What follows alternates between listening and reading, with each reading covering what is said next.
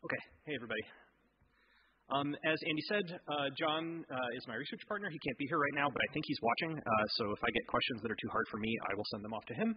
Um, we have been working together for almost five years, which is kind of crazy. Uh, when we started, my hair looked like that, and uh, during the time that we've been working together, John got married and finished a PhD thesis, and all I did was this and moved to California. Um, so we started at Princeton in 2018. Uh, now it's cross-institutional because I left. Um, and basically, we started out as this kind of effort to discover uh, textual parallels, reuse, and other things, but based on phonology, on sound, uh, what John calls resonance. Um, here's a little picture of a program that I wrote a couple of years ago uh, that takes in two uh, old Chinese texts, um, and it spits out, hey, there's a, a correlation here. These texts might match, or they might have rhymed when they were originally read aloud. And here's the transcriptions in Old Chinese, which no one except John can read, but they're fun to look at. Um, what is the problem we were trying to solve? Okay, uh, a little bit of textual history. We're interested in texts from early China. What does that mean? Well, there's this canon of received texts that have been passed down by scribes uh, for centuries about as long as we have had texts, uh, and a lot of them also have a, a, critical history that's about as long as the text is. Uh, so, for example, um, you know, the Laozi, which is more commonly known in English as the Tao Te Ching, this classical work of Taoism is one that a lot of people know. Um, we also have these fragmentary texts. Every so often, someone will find like a tomb in China and dig it up, and they'll get these uh, texts that were written on bamboo strips that seem to parallel in interesting ways these received versions that have been passed down for about 2,000 years, and that creates this awesome climate where there are these active scholarly debates about the meaning, the dating, authorship, other stuff, going back, you know, 2,000 years and still very active today for all of these same texts. Uh, that's a picture of what those texts actually look like when they're written on bamboo strips. Um, when people dig them out of the tomb, uh, they used to be kind of connected together with like fiber uh, and other things, which has long since rotted away. So you get this great game of like pick up sticks. Uh, and of course, there are no page numbers, so it's really fun to try and figure out what uh, order things were originally in. Uh, but we don't have to do that. Um, okay, phonology. Why are we interested in it? Uh, these ongoing debates about who wrote something or why uh, or what pieces of something get reused or when it was written, uh, we think that phonology adds this critical but often forgotten dimension to these debates, particularly because these texts have a really high degree of wordplay, puns, rhymes, which are really easy in Chinese, but also more complex poetic structures with really interesting deep rhyme schemes. Um, the early texts also often feature a high degree of graphic variation because the orthography was not stable, so you could use different characters to write the same word. And helpfully, there are these polyphonic characters that can have different meanings and make different sounds depending on context. So the problem runs both ways. Um, Here's an example you can see of some uh, pictures of uh, bamboo manuscripts where the same word that might be pronounced the same way is written in these differing uh, character forms, which, as you can see, can be substantially different. Uh, and here's an example in the other direction where you have these character forms that are the same. Um, and in fact, the second, the one on the bottom is true for modern Chinese too, where uh, the single character, depending on the context it's used, can represent concepts as different as music and joy, uh, and can even be pronounced different ways. so, what does all of this mean? well, it means that sometimes the resonance and reuse in the text may not be visually apparent unless you know what it sounded like. Uh, here's an example that uh, John uh, got from three different texts. Um, how do we know that there's reuse happening here? Well, some of it is visually apparent, right? We have this phrase, san nian bu, uh, He did not speak for three years. Uh, so, so, something has been copied. Uh, but there's more going on here than that under the surface. Um, these two characters uh, sound uh, almost the same uh, and have a similar meaning. Uh, right? We have this: his acting without words was harmonious. When he did speak, it was joyous. Um, but there's there's more parallel there than would otherwise appear because the characters look different. Similarly, we have this even more interesting instance. Uh, these uh, two characters sound almost the same, but the meaning is actually there's a, a substantial difference. Right? He trusted in dark seclusion versus he was truly left in the dark. And again, probably what happened was as these things were read aloud, um, you know, the texts were kind of uh, broken up into modular units and rearranged. People recited poetry or whatever. Uh, the way that they were transcribed drifted, uh, and so the, the full extent of this resonance is hidden unless you know what things sounded like. Um, okay, so what do we want to do? Uh, we are working backwards. Our outcome is that we want to find hidden patterns uh, in the text based on sound. That means we need to know the pronunciation for every character in a text. If we're going to do that, we need to create a model that can predict the pronunciation for a single character. And if we're going to do that, then we need to represent that pronunciation as data and generate training data for the model from it. Uh, so my favorite framework is spaCy. So in spaCy's terms, uh, you put a bunch of text in the top, it goes through this big pipe, and you get data at the bottom. Uh, what we're going to put into the top of the pipe is two different Chinese texts, and at the bottom we're going to get out something that says, hey, there's resonance here, there's a match, something is going on that you didn't otherwise see. Uh, to do that, uh, in spaCy, our token needs to know how you read it. So it has to have pronunciation data so that we can know when things are a match. To do that, we need a model where you can put tokens in on one end, and the, the model can say, here, this character should be read this way. Uh, and to do that, we need uh, texts where uh, the pronunciation of every character is annotated. Uh, okay, here's my first pass at doing this.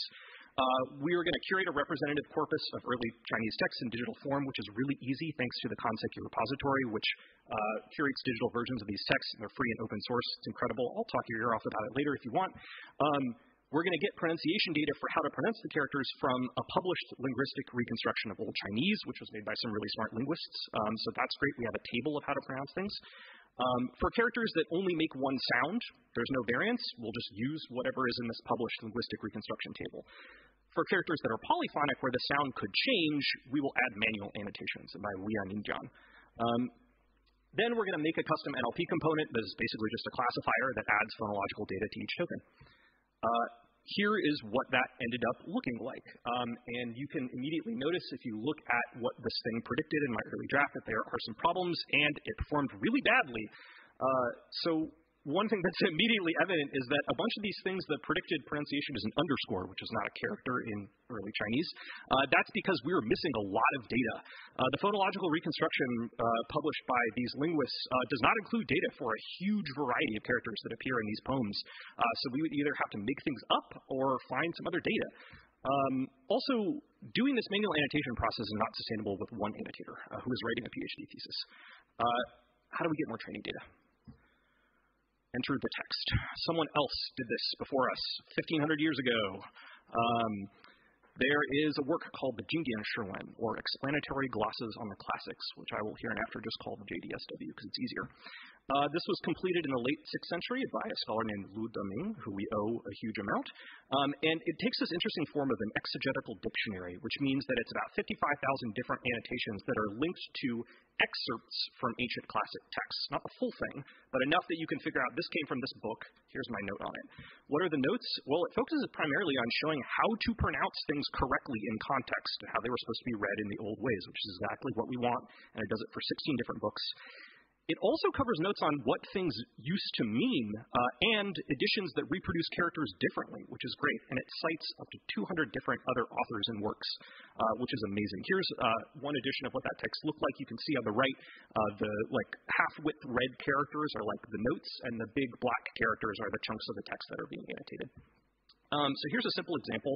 Uh, this is from a text that's like a divinatory oracular thing that allows you to sort of see the future. Um, and it's talking about uh, these lines, like in that image in the top right, which form uh, basically like the representation of the future that you read.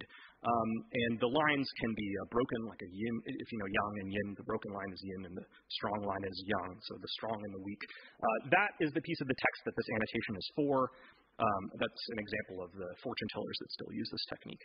Um, here's what the JDSW says. This strong and weak thing, well, the character that's strong is pronounced like this. Uh, which, by the way, this uses this really interesting uh, phonological system that was novel at the time, borrowed via Sanskrit linguists, uh, where you can indicate the pronunciation of something by taking two pieces from other characters that you know how to pronounce. My favorite example for this is it's like taking the f from fish and the it from light to make fight. So in this case, we have the d from dung and the wang for something else to make tuang. Um, Here's a more complex example showing just how rich this text is. Uh, this is the same text for annotating a different part. Um, here's the annotation. Uh, you can see just how much is like packed into this very terse text. We have a note about other editions that reproduce it differently. Um, you know, a bunch of different pronunciations, multiple other people that we're citing that are explaining how to do this. Um, so there's just so much here. Uh, how do we turn this into training data? Well, uh, if you look at uh, the actual annotations that are in this text, uh, you notice really quickly that there's this like massive outlier. A ton of them consist only of two or three characters. Why is that? Um, it's because they're just pronunciation data. That's it. Um, there are two forms that the pronunciation data often takes. One of them is that A plus B thing that I explained. The other one is just it sounds like X.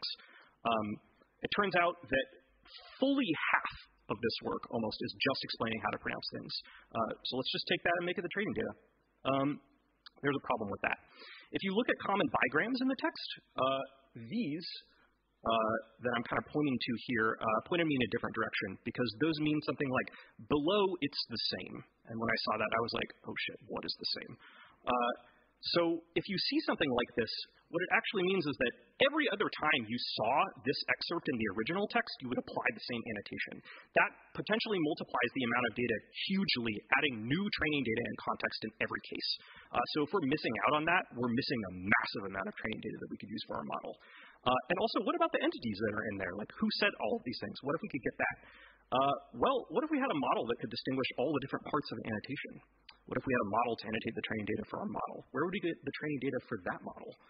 Um, most NLP libraries want you to do kind of a common set of things, tokenization, POS tagging, named entities, dependency parsing. Uh, this is spaCy's idea of like a core NLP model. It turns out that's really hard for this language and text. There's no white space, there's no punctuation, there's no sentences. Entities are often multiple characters, but almost everything else is just a single character what even are parts of speech in this language uh, in that form of the like a plus b uh, what is the thing that indicates a plus b? Is that a verb? Is it a punctuation? How do you even decide this? Uh, lots of other questions. How do we get useful data out of this what if i told you that if you broke all the rules uh, and substantially lowered your expectations you could get great training data out of data like this uh, what if we treat everything as a labeled span of one character tokens? Uh, so we have people, we have works, we have graphic notes about how things are reproduced differently, we have notes about the meaning of things, we have notes about the pronunciation of things, and we have the metas about apply this to everything below. Let's deliberately avoid trying to label anything else. We only care about what helps us answer our research questions. We only care about things a model could reasonably be expected to learn. And we only care about things we actually feel confident annotating. These are decisions that I made. Uh, so let's write an algorithm that annotates the data. Uh, we're going to think about the most common patterns we saw, maybe write some regular expressions. We're going to write a few tests that apply the logic to make sure we're doing what we think we want. And we're going to really quickly find that the data is going to break the algorithm, which is good. We're going to repeat this process over and over. We're going to find crazy data that the algorithm can't annotate correctly. We're going to write a failing test. We're going to adjust the algorithm and make it crazier, and it's going to get uglier and uglier. You can do this, by the way, without writing any code. You just have to think about the forms that the data uh, takes. That's what my regular expressions actually look like. Terrifying, uh, but it's useful. I'll tell you why. I'm going to skip this slide uh, about curating two data sets. Um, here's why. Uh, when you use the algorithm to pre-annotate the data for you, all you have to do is correct its predictions. Uh, and the Prodigy annotation library makes this super easy. Um, I was going to show a live demo of this. I'll just really quickly alt tab so you can see what the interface looks like. I know I'm like already way out of time. Um, this is the actual annotation interface that I use. When I see things that I'm annotating, I hit the A key to accept. This is an annotation using the schema that I picked. Everything was already pre-annotated by the algorithm that I wrote. If there was a mistake, I would just go in here, get rid of this, pick a different label, and move on. And it's as easy as that. Um, I'll wrap up. Uh, here's here's what I'm really arguing, I guess, with this this demo. Um, yeah, I use spaCy span categorizer. This is the performance for each of the things. Uh, why do I think it did well? Because uh, secondary sources are a really good source for training data. Uh, they're formulaic. You can write algorithms that describe them really well. And as a bonus, you get a deeper understanding of the relationships between things in your text. Trying to describe your data with a set of rules is a great process because it dredges up all the outliers, the things that you don't know, and it helps you challenge your own assumptions about the shape of your data. Uh, and finally, you can do better if you just try to avoid complexity and just only annotate and predict the things that you need to move forward. Curate adversarially so that your annotated data is a mix of crazy edge cases and real examples, and you can always add more details later. Thanks.